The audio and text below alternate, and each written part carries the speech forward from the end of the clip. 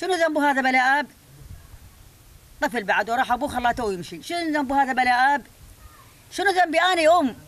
هذا زوجته شنو ذنبه بهذه الكلمات المؤثرة يطالب ذوو ضحايا المخبر السري بالكشف عن مصير أبنائهم المعتقلين منذ أكثر من خمس سنوات خاصة إن أغلبهم يعيشون ظروفا صعبة للغاية في ظل فقد معيلهم لترتفع الأصوات من جديد لإعادة النظر بقضاياهم. بالنسبة للمخبر السري ولا اسمه الدولة تتعامل وياهم بالقصاص العادل تأخذ حقنا من عندهم ويبينون ولدنا بكل طريق.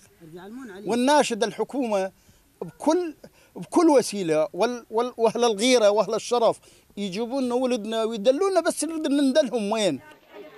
سنوات عديدة وما زال المصير مجهول لضحايا المخبر السري. نساء ترملت وأطفال يتموا وأمهات ثكلن بأبنائهن دون أي تحرك حكومي جاد للنظر في قضايا المعتقلين الأبرياء. ليجدد ذو ضحايا المخبر السري دعواتهم لإعادة محاكمة المعتقلين بالوشاية الكيدية لفرز المذنب عن البريء. ولادنا يعني ما تدلونا عليهم ليش هم من راحوا؟ وراحوا على الحكومة. ليش بغداد يعني طريقها دواعش؟ ليش هاي العالم من راحت وردت؟ ليش بس هم ما ردوا؟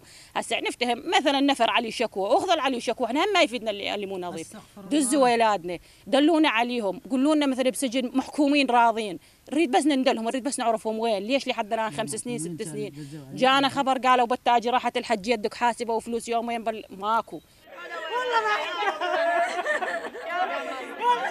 ما بين دمعة طفل وعوز امرأة ينتظر ذو ضحايا المخبر السري إعادة فتح هذا الملف الذي راح ضحيته الآلاف. عسى أن تحدث انفراجة تتبعها لقاء من طال انتظاره.